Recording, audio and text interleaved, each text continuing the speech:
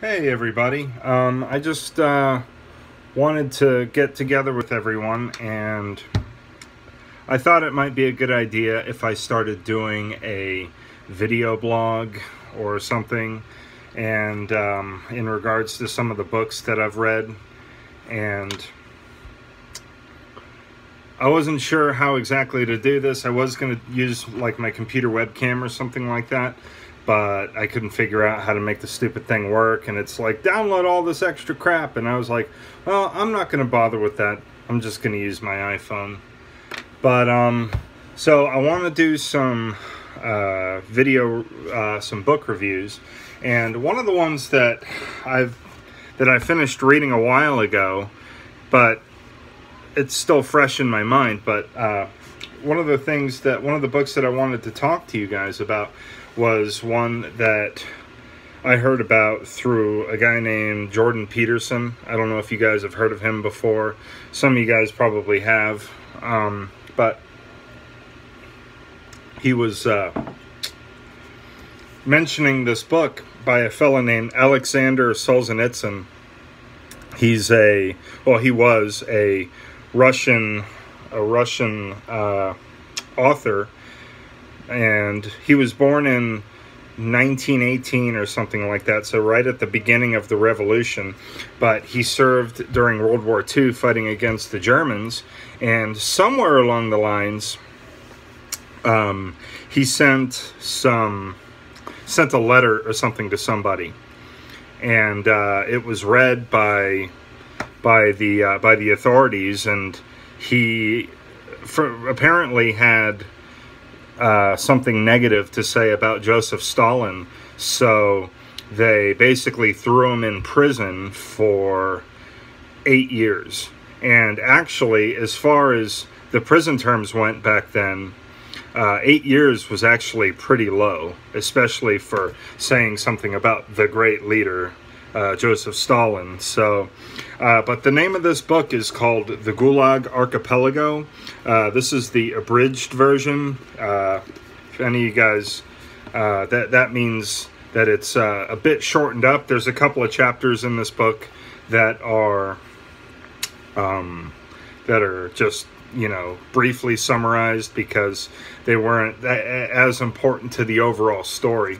But I got to tell you, this book right here was uh, was pretty damn horrifying. I gotta tell you because you know it's different when you say, "Wow, this stuff really happened," and the way that it's detailed is is like completely mind numbing and mind blowing. I couldn't believe some of the stuff I was reading.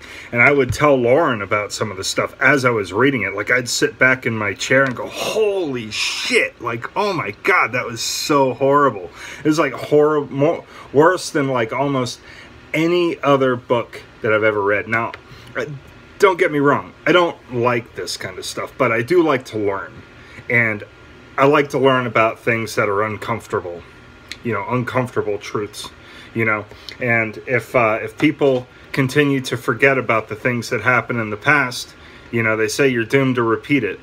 But this book really hits a lot of stuff on the head, and uh, you know, a lot of people uh, they have favorable views of communism and whatnot, but uh, this book will uh, will spell it out for you pretty clearly that it ain't all that it's cracked up to be.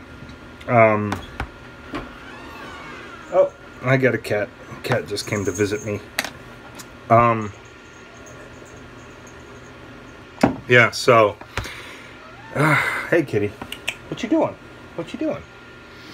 So, where was I? I kind of lost my spot. Oh yeah, so how it begins is he says, uh, you know, it all begins somewhere, you know, and the very first step is you get arrested and you're like why am i being arrested? And some people were getting arrested for no reason you know? Uh, i'll be right back.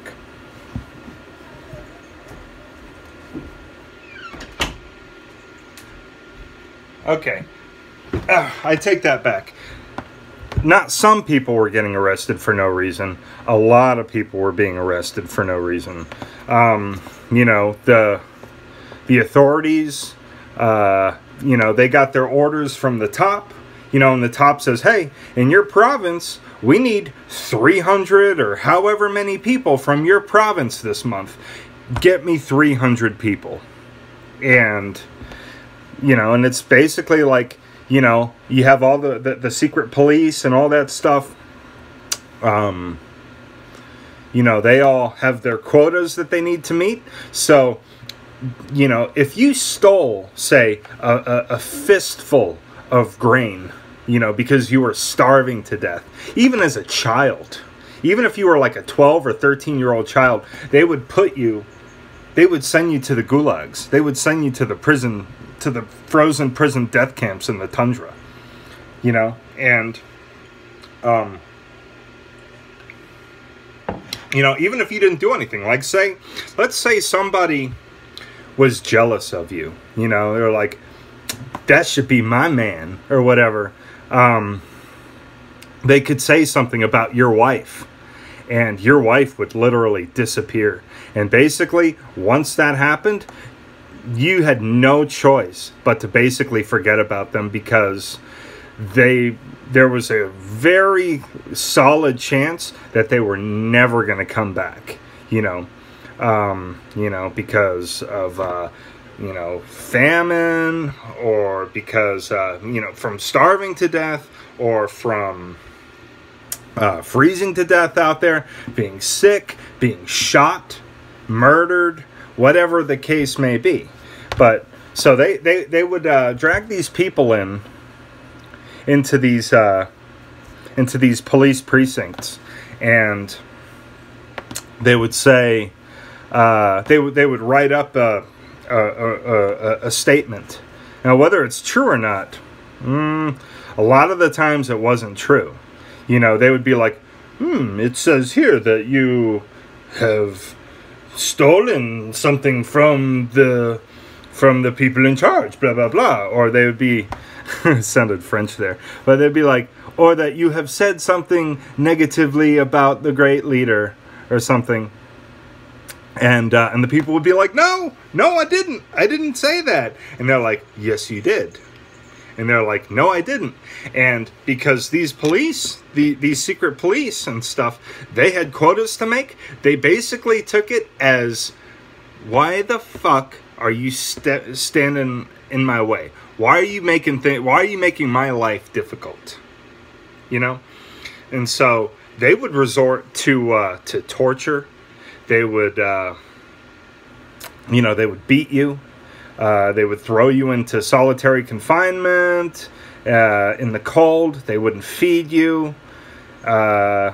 And then while you were there and while you were being interrogated, if you did happen to crack, then they would force the person who they were interrogating to give up the names of more people.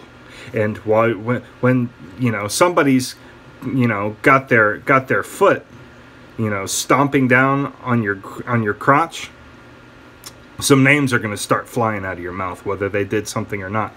So basically, the entire Russian culture became like where nobody trusted each other and nobody talked to each other. And, you know, and it just became this big grinding cycle. Uh, so, um, you know, there was that. There was a famine that was going on at the time, too, because even outside of the prison, outside of the prison system, there really wasn't enough to eat. Um, I, I might add one thing before I keep on going that, uh, you know, I've read the book 1984 by George Orwell, and uh, even though he did a he did a really good job at like kind of like predicting the way that things were becoming or the way that he foresaw it uh, being in the future, and he had some insight on that. Um, this book, uh, to me, was a lot scarier. Not only because of the way that it was written, but also because this is actually this is true too. this is true, and this is stuff that has actually happened. It's not just a spy, a spy state.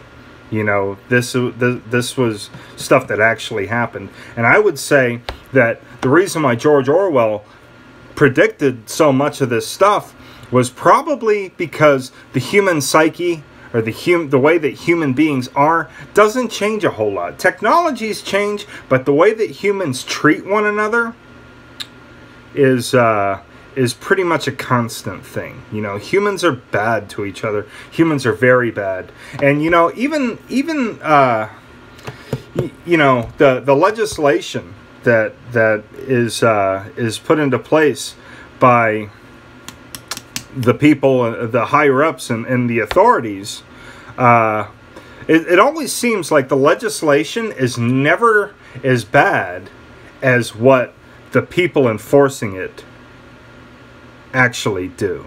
You know, I mean, they might say, you know, in their legislation, well, you're not allowed to torture and you're not allowed to shoot people and you're not allowed to kill people. You're not allowed to, uh, you know, uh, sentence the innocent and all that stuff.